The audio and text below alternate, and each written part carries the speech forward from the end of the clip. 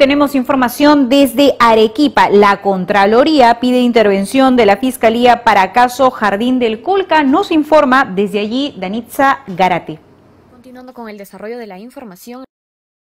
La Contraloría pide intervención de la Fiscalía para caso Jardín del Colca. El gerente de la Contraloría Regional de Arequipa, Fabio Niño de Guzmán, solicitó la intervención de la Fiscalía para investigar al Gobierno Regional de Arequipa por presuntas irregularidades y favorecimiento a la construcción de una plaza en la Asociación Jardín del Colca en el distrito de Yura. Pese a no tener saneado el terreno, el funcionario manifestó esta mañana que no tiene el saneamiento básico legal del terreno, por lo que cuestiona al Gobierno Regional de Arequipa por ejecución de una obra valorizada en más de 4 millones de soles.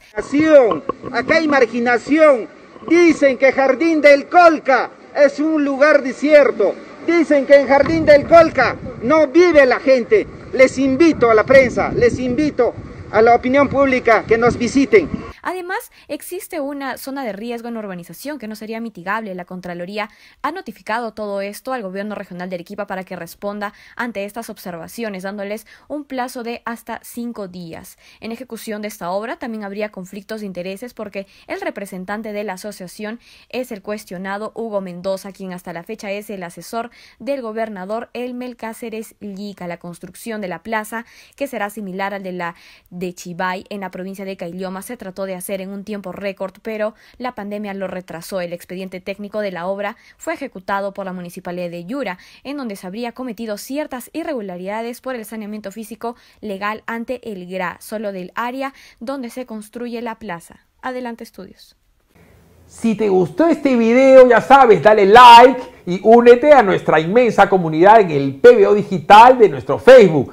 Mueve la campanita, suscríbete en la página del PBO Digital de YouTube. Y por supuesto, comenta y comparte en nuestro arroba PBO Digital vía Twitter. Con Centenario, ahora comprar tu lote en el Sur Chico es facilote. Ya lanzamos nuestro nuevo proyecto de urbanización, Loma Bonita, ubicado en el kilómetro 50.5 de la Panamericana Sur. Compra tu lote sin inicial y hasta 12 meses sin intereses. Solo necesitas tu DNI, un recibo de agua o luz y listo. Sin evaluación crediticia y hasta 15 años para pagar. Para mayor información, contáctanos al 01 616 9009 o visita www.terreno.pe. Centenario, más de 90 años haciendo propietarios más fácil.